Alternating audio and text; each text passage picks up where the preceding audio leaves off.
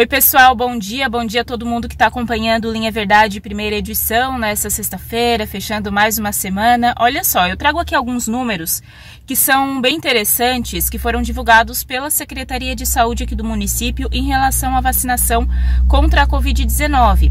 91% das pessoas do grupo vacinável, ou seja, que tem 12 anos ou mais, já receberam pelo menos a primeira dose da vacina.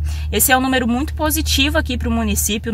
91% desse grupo já recebeu a primeira dose e a segunda dose 64%. Então, 64% das pessoas que precisam tomar a vacina contra a Covid-19 já compareceram. Esse é um número muito bom comemorado pela Secretaria de Saúde.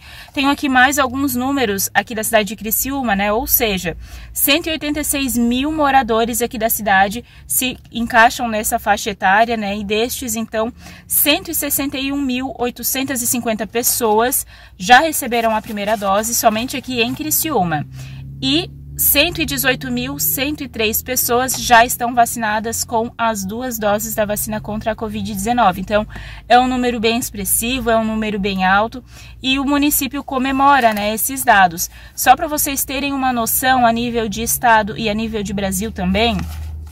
Em Santa Catarina, 64% das pessoas já receberam a primeira dose, pelo menos, da vacina contra a Covid-19.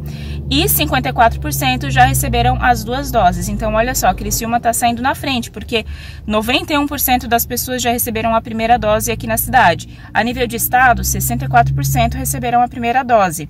A nível de Brasil, 72% das pessoas já receberam pelo menos uma dose e 50% das pessoas deste grupo, então acima de 12 anos, já estão imunizadas com a segunda dose, 50% desse grupo. Então, realmente, Criciúma está com um percentual acima da média estadual e nacional, e essa é uma informação muito boa, né?